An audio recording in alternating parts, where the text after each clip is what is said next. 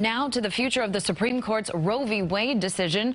This weekend saw widespread demonstrations over the issue of abortion rights. And this week, the Senate will vote on legislation aimed at protecting those rights. Here in New York, the Attorney General will announce her plan today. CBS 2's John Dias joins us live from the AG's office in Lower Manhattan with more. John?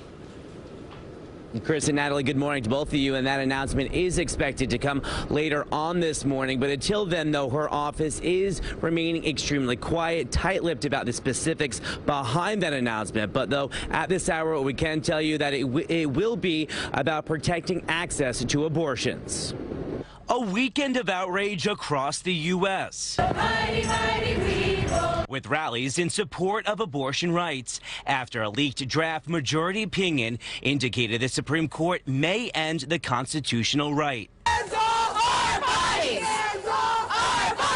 Protesters even made their way to the homes of Justice Brett Kavanaugh and Chief Justice John Roberts. Such a high stakes situation that if, you know, it's a little bit noisy in the neighborhood, um, you know, in comparison to what women in this country are facing, like it's really not a big deal. Back in New York at St. Patrick's Cathedral, the fear of demonstrations led to a heightened police presence. Yesterday, Democratic leaders said the battle on Capitol Hill isn't over. Here we are on Mother's Day, a week where the court has slapped women in the face in terms of disrespect yeah. for their uh, judgment about the size and timing of their family. Senate Majority Leader Chuck Schumer saying on Twitter the Supreme Court's reported decision is an abomination. He outlined a vote planned in Congress this week aimed at protecting abortion rights. It is not expected to pass, but he wants Americans to know where lawmakers stand ahead of the midterm election. The abortion debate will not go away in the country.